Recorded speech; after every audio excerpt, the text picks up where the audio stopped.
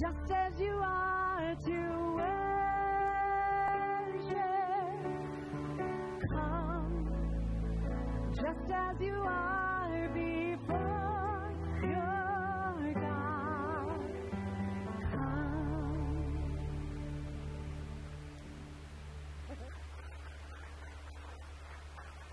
Amen. Good morning. It's good to see you all. Um, just in case you're wondering, uh, Angeline and Justin and Tim are. Uh, we had to call an audible this morning because uh, after eight o'clock, Casey called uh, deathly ill, and uh, so uh, we we scrambled and I called Angeline. She said, "Yeah." Well, I called Matt, and yeah, she can be there. So, uh, so uh, the thing about today's worship is that because uh, we've got a stripped down team, that means it's a congregational Sunday. So that means that you are a major part in the band this morning. There you go. So that means that you have to sing loud. That means that you have to clap. That means you have to dance around. No, you don't have to dance around. But uh, today is the day where you get to be the worship leader, right? Uh, along with Angeline. Um, so I just want to encourage you guys to do that. Um, my name is Randy Whittemore. Those of you who are visiting, uh, I'm the pastor here. This is my wife, Ashley. And uh, we are so glad that you joined us this morning. Uh, we have a saying here, and it goes like this it's a quote from Bre- Brennan Manning. It's that God loves you just as you are and not as you should be, because none of us are as we should be. But God loves you way too much to leave you as you are. We believe that here, and we want to say you are welcome here no matter what your uh, background is, no matter what you've done, no matter where you've been. We're only concerned with where you're going. Amen. Well, let's pray and invite the Spirit of God into this place. Holy Spirit, we welcome you here this morning. God, we just ask that you would come and that you would touch our minds and our hearts. Lord, come and meet with us. Fill this place with your spirit, Lord.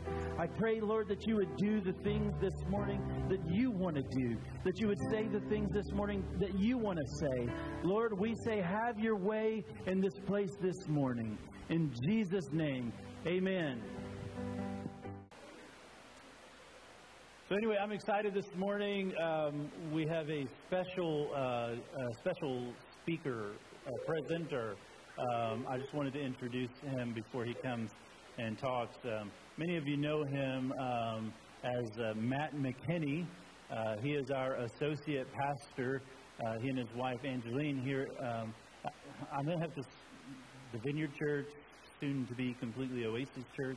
Um, we're going to make all those changes. But um, they came to us a couple years ago and just have been a tremendous blessing to our church family. And um, I'm just uh, always, um, if you, if those of you who are real close to Matt, you know him as Matt uh, Low Key uh, McKinney.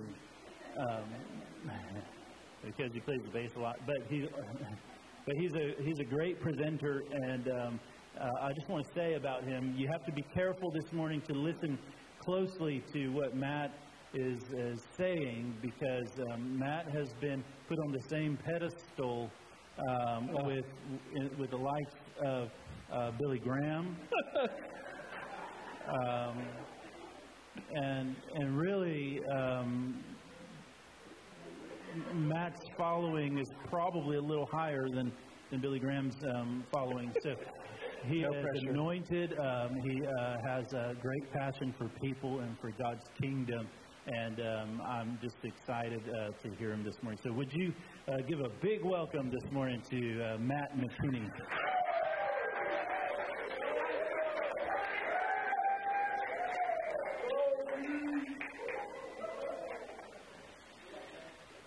Thank you.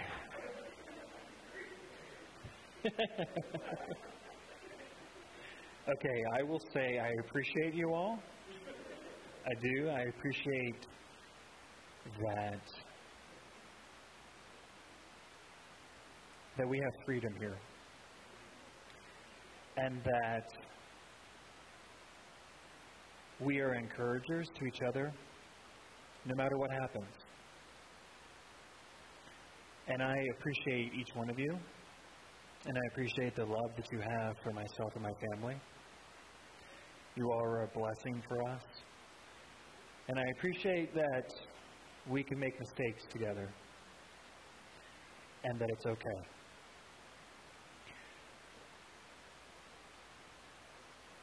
This is the um, eighth, close to the eighth anniversary of an earthquake in Haiti. Okay, January 10th, 2010, there was a massive earthquake that just devastated the nation of Haiti. Okay? Two years before, I had an opportunity to go um, to Haiti on a mission trip with my brother in law, who feels called, but that's his purpose. He goes to Haiti two, three times a year. There's a group of pastors there that he ministers to and works with. And he's, he's he loves them. He's bound to them. So I had an opportunity to go. There was a pastor's conference, and I went. Okay, at that point, I wasn't really heavily involved in ministry, but I really wanted to go. One, I love missions. I love going to new places. I love people. I love people groups. And this was a place I'd never been. And quite honestly, for me, it was an opportunity to see poverty like I've never, never seen. So I go and I meet some amazing people and forge some amazing relationships. Okay? Two years later, a little less than two years later, the earthquake hits. There's a part of me that's torn because I have friends there. I'm not sure if they're alive or if they're dead. And that's really hard. So my brother-in-law is very, he um, has a place of standing in the community where we came from in Pennsylvania. He's the borough manager. Um, he kind of runs the community. He was also on the board. He had political aspirations. He knows a lot of people in the Pennsylvania Senate and representatives. So a couple days after the earthquake, he hops on a plane. I so wanted to go with him. I was trying so hard to be able to do it, but I just I couldn't. But he goes and he coordinates food drops with Pennsylvania legisla- legislators, just some amazing things. I'm feeling like, oh, God, I really want to go. I want to go. But what do I have to offer? I'm not a builder. I'm not somebody high up in, po- in politics to where I can turn, you know, like talk to some people and make things happen. I'm me. The guy who loves people. I'm concerned for people.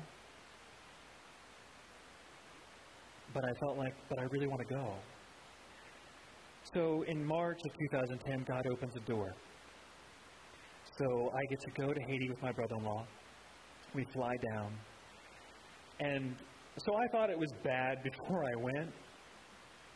It was like a hundred times worse. Rubble is everywhere still in the streets. You know, something happens here. We have a hurricane, right? And there's complete devastation in neighborhoods. But a few months after the hurricane, three months after the hurricane, you know, people have come together. They're helping get stuff out of houses. They're gutting houses. All the stuff's in the yards. And by then, a couple months later, the trucks come in, they take all the stuff, and they leave. There, nothing was really changed. It was horrible, right? And again, I'm there. I'm I'm with an, it's my brother-in-law and I, and there's another couple there. Now, this couple basically met in Port-au-Prince, Haiti, and their parents were both missionaries there. The husband, his parents, are actually buried at an orphanage in Haiti.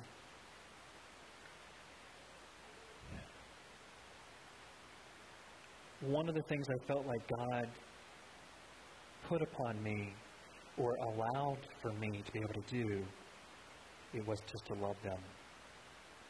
We went to the orphanage, and I had it again. Thinking third world country, one of the poorest nations in the world, an orphanage it's basically just a block building, and it was devastated. I remember walking up, and the rubble is just piled up on the street.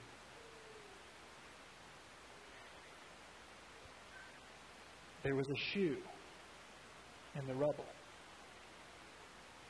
that was still on somebody who was buried. two months after the earthquake. It's an image that I won't forget. And again, I'm standing there wondering, God, what am I here for? I, I want to be here. My heart is to be here, but what am I here for? The overwhelming feeling that I had at that point was being anxious because I just didn't know. I'm the type of person that I need to know what's going on. I'm a planner. That's who I am. Now, am I one of those A type personalities that has my whole life planned out? No. But I need to know what's going on. I mean, ask Angeline. There are those moments where she'll be saying, okay, we're going to do this, and, you know, it's about a month or two away, and I'm like, okay, so when is it? What time is it? How are you going to get there? What's going to happen? She doesn't know those details.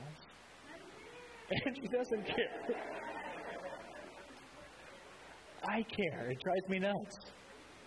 It drives me a little anxious because I need to know.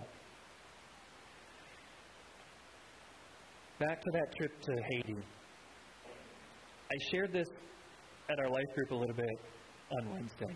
And here's my shameless plug for life groups come. it's where real life happens. Honestly, it's where you can come and just be you. It's where you can come and no matter how you're feeling, you can just come and just hang with us for a little while. We've been praying for one of my coworkers who's been out of work since August. And I communicate with her. She's been in a bad place. And do you know she came this past Wednesday? And we were able just to love her and just say, "Hey, how you doing? Do you know that we've been praying for you since August when you lost your job? She got a job offer this week. It was awesome. It was yes, exactly. It was so encouraging, and we were able to have her come in and just be us, be who we are to her, be real to her. Okay, this thing keeps popping off. I know I have to attach it to the back, but you know, I'm like, how about I do this?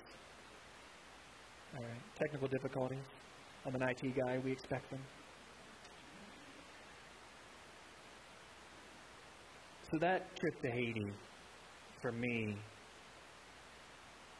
changed a lot of my thoughts. One of the unique things that happened was we went up into the mountains, and it's Sunday morning, and we're thinking we're going to go and we're going to like fellowship with fellow believers. Now, obviously, I can't understand a word they're speaking because it's in Creole, but I don't need to understand because the message is still the same. It, it's, it still is impactful, whether it's in English, Spanish, Creole, whatever. Doesn't matter. So we get there to this church, and I use the term very loosely.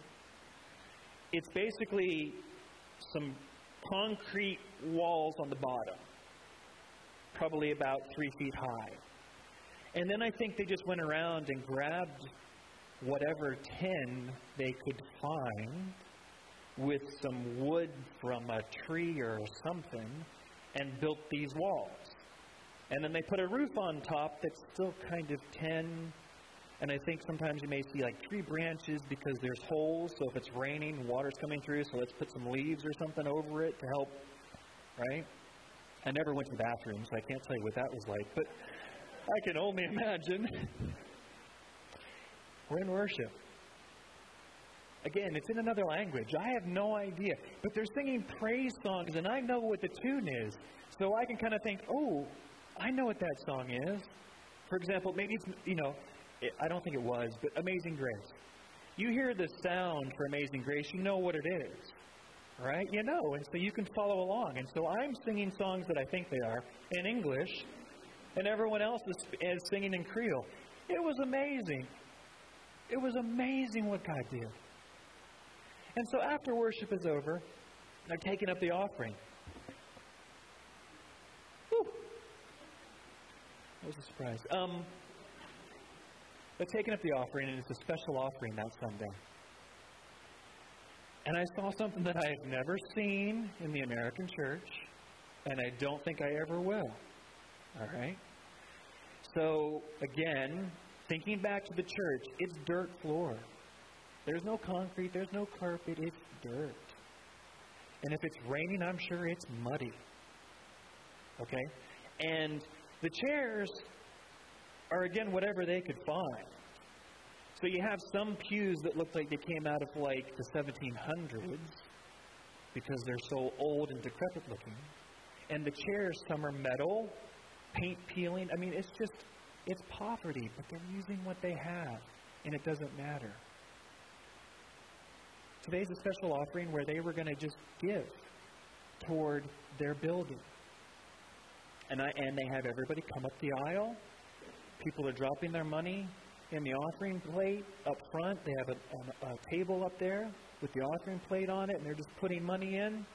And at the very end, I see somebody walk up with a pig. And they took the pig and they tied it to the, uh, the leg of the table and they left it there. And as I'm watching this, my interpreter, he leans over to me and he says, By the way, you're preaching this morning.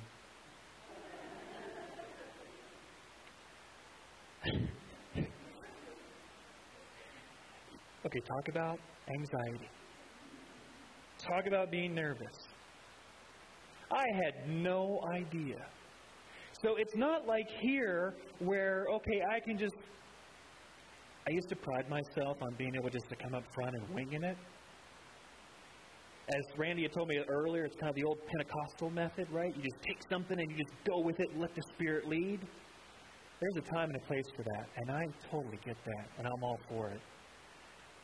But God's taken me to a place where, man, I want you to prepare. I want you to really put your heart into this, right? That's what I want for you. And so that morning, I wasn't there yet, but I thought, God, what am I going to do? Because it's not like I can come into the American church, to the Western church, which I'm used to, and give this three point sermon or whatever. I'm in a third world country where they have nothing. How am I going to relate with people? And right then, at that moment, God put on my heart John 3.16. As a Christian, you know what that verse is. You watch football, you see it usually, you know, somebody's holding the, the sign out in the stands. But I thought, that's how I can relate to people. Love. That's how I can do it. And so I started speaking. Now in Haiti, you have to get a little excited. I'm not that excitable, I'm low key. But I did. I kind of made it work, I made it my own. And when I was finished, the um, head of the, the movement of churches there comes up to me in his broken English and he says, That's my favorite verse. He goes, We love to speak about this verse. And I just thought, okay, God, thank you. But it blew me away, right? So this week, I am struggling and struggling. I'm like, God, what am I supposed to speak on today? I have no idea. Um, again, I like to know, just give me like a one word, two word kind of thing that I'm going to talk on this morning, and then I can kind of think about it and mold it. And Wednesday night, I shared that story and I said, I don't have anything.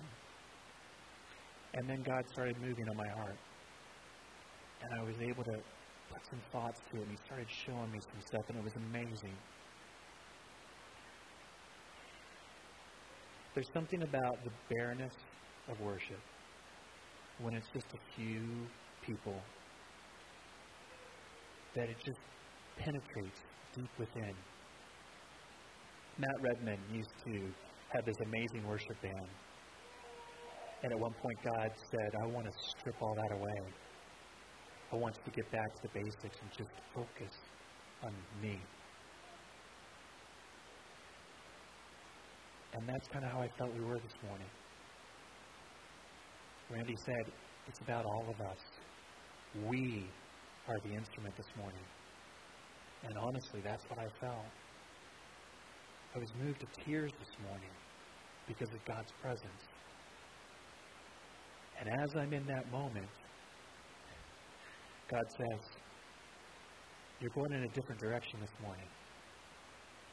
Everything that you have, that's not for today. I've got something else. And it's very appropriate because it scares the snot out of me. But it's okay. Philippians 4 6 tells us, and I'm going to use the New Living Translation. Don't worry about anything. Instead, pray about everything. Tell God what you need and thank Him for all that He has done. So I'm sitting there this morning, and that verse kind of hits me. Now, again, that's the New Living Translation. And I'm thinking, okay, maybe this is what I'm going to, you know, maybe I need to stand up and just share that after worship. But instead, God's like, no. I want that as your message this morning. In our house, we've been dealing with anxiety, we've been dealing with fear. We're talking through these things, right? And I'm praying with my kids about anxiety and just, hey, it's okay. And sometimes I get a little harsh because I get so angry, and it's not at my kids, it's at the enemy who comes in and tries to flood them with fear and anxiety. Because me, it, that's something that I have struggled with for a long time in my life. I was a scared little boy. I slept with the covers over my head because I was protected by my covers so monsters wouldn't get me. That's who I was. I still sleep with them kind of high, but it has nothing to do with monsters today. It's just a habit. But I was fearful. If I was asked to stand up in front of the classroom, I couldn't do it. I was so afraid. I was afraid that people would look at me and judge me for what I looked like. I went out, and this is the 80s, and I asked my parents for Christmas for parachute pants. Now, some of you may not know what parachute pants are, but some of you do. Parachute pants because it was the 80s, and I wanted to be a breakdancer, right? Okay, look at me. I am not a breakdancer. I am not. But boy, I proudly wore those parachute pants to school. I got my bandanas and I wrapped them around different areas, right? And you know what happened?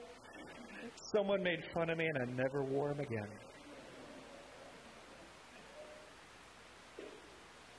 Because I was fearful and I had anxiety in my life. And if someone came against me, instead of fighting, I backed down.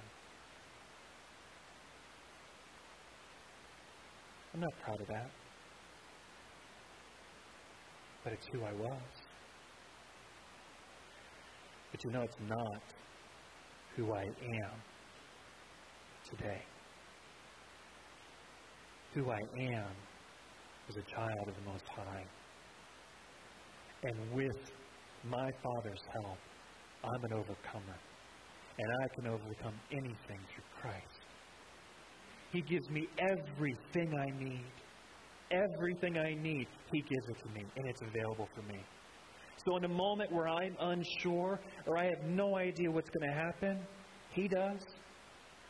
And He is going to walk at me through it. And the Holy Spirit is going to be right next to me saying, This is what I want you to say. This is how I want you to go about this. He's going to give me everything I need.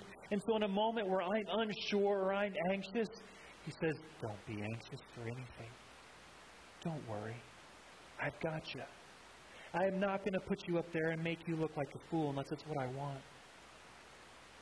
But I'm not going to let you do it because I've got your back and I'm with you.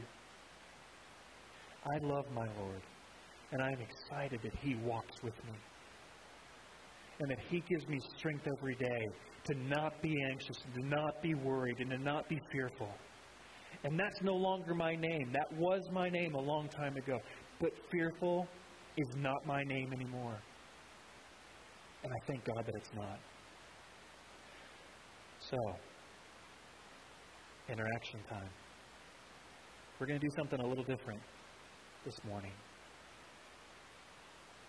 What I would like is for everyone to stand and just come right up. We are a family together. Okay, we're a family. Everybody, come up front. We're going to worship together. For those who are feeling anxious, feeling worried, we have our family around us that can just join arms with us and just start praying for us. It doesn't have to be anybody special. Anybody. If you feel like, hey, God, God's putting on your heart to pray for somebody, I want you to pray for them. Right? We are a family. There's nothing, there's no shame here. There's nothing bad here. This is a chance for us just to love on each other and to say, God, these are the things that I'm feeling today. Why don't you come? Inhabit your people. Okay? Reach out to people, love each other. Okay? That's who we are. We're a family. I can't stress that enough. I am excited for the direction that God is taking our church. It is an amazing journey that we're going to be on. And I am excited that I get to be on it with all of you. All of you. And God is going to change our lives. So if you're feeling afraid like I was as a child, that's no longer going to be your name. Because God's going to renew you, He's going to give you strength, He's going to change you. And that change is going to begin here because we're going to link arms and we together. Because God's using us, we're going to help each other change.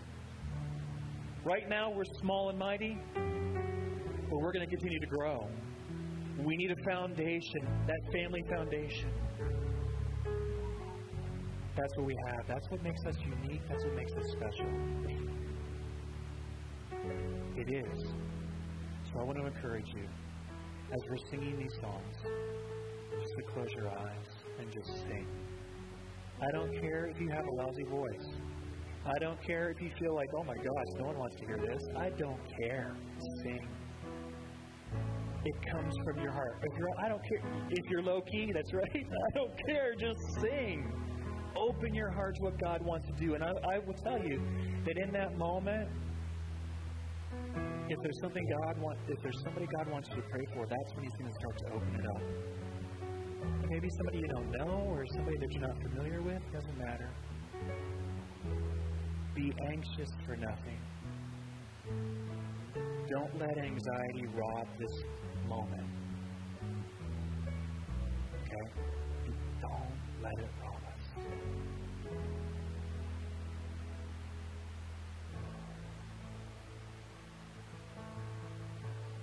I just want to encourage as well. If your name isn't fearful, maybe your name is angry that you identify as.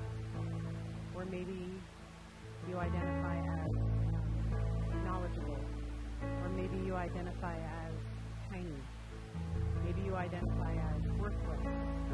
Maybe you identify as powerful. The names that you have for yourself, let's let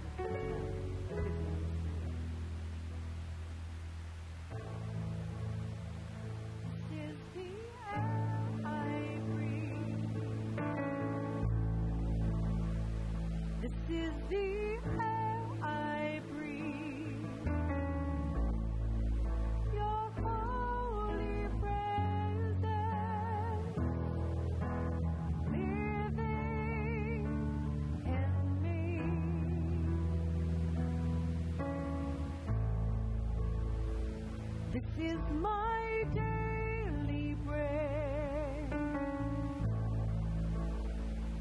This is my